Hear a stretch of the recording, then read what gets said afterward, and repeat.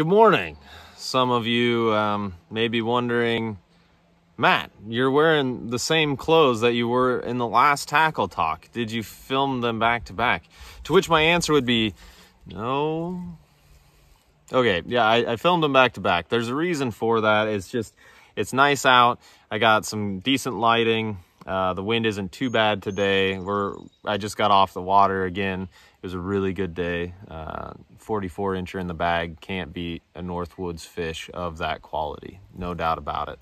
Um, so the the tackle talk today that I kind of wanted to go over was comparing um, the the the original assault sticks from Chaos to the 2020 assault sticks from Chaos. I, I've been fortunate to get my hands on a few of the 2020s now, and I had used the original assault sticks for probably the last three years in a variety of, of models and um, actions. So uh, I, I kind of wanted to talk about the pros and the cons of each um, and maybe just kind of clear up any sort of questions that people may have. Like if you have questions, leave them in the comments. Hopefully, if I can't answer them, hopefully I'll be able to find someone who can. Um, but I just kind of wanted to talk about that. Uh, the original assault sticks, I had three of those. I had a 9.6 shock and awe, a 9-foot shock and awe that uh, you'll be seeing a lot of in these upcoming videos, a and a 9-foot SWAT.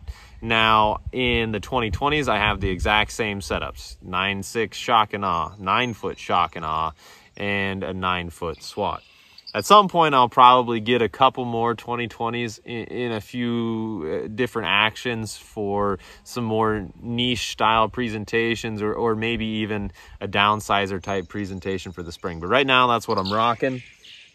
Um, so I want to talk first about, um, oh, it's just a dragonfly. It's a really big bug. Anyway, I wanted to talk first about the original assault stick. So this is the, the OG uh, SWAT um, assault stick. Nine foot telescopic. I really like the telescopic. I know that the jury is out from some people. I was just listening to the TRO podcast, and one of the guys they had on there made a point about how it creates a, a weak point in the rod, which I, I, I get where that logic is coming from, but for me personally, uh, the the telescoping feature outweighs that uh, potential issue by uh, an astronomical amount, just because of how many different guys I fish with, the amount of boats that I fish in, um, like if I'm traveling somewhere to meet someone or I'm throwing my rods in someone else's vehicle, it just makes everything easier to have that telescoping feature built right into the rod.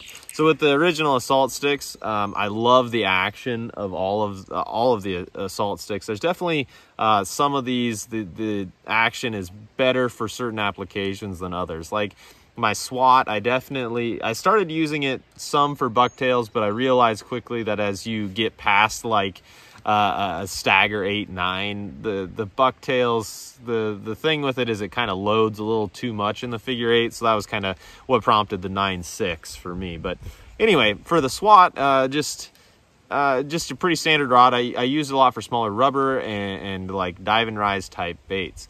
Um, the, the nice thing about the original assault sticks definitely is the price point. Um, in my opinion, it's hard to find a better quality rod at the price point that is telescopic uh, that uh, the Chaos original assault sticks have.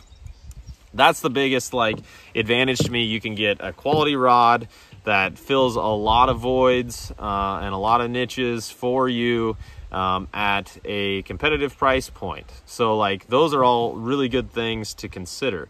Um, one of the downsides of the original assault sticks um, is is they are a little heavy, um, especially if you're if you're doing like an all day grind where you're you're out there, you know, 10, 12, 14, 16 hours.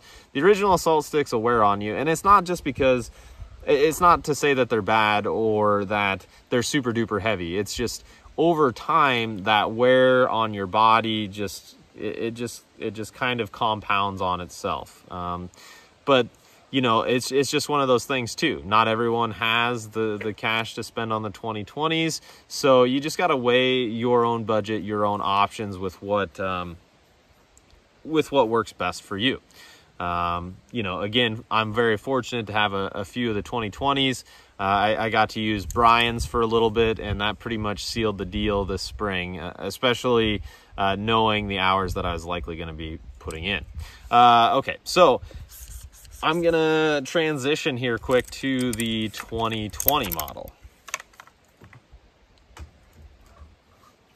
Okay, so here's my Assault Stick 2020. I got a Revo Toro Rocket on there.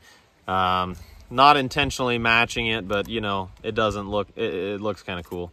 Uh, so yeah, this is just the SWAT, standard SWAT um, in the 2020 series. Um, pretty much the same action that you would expect from the original models.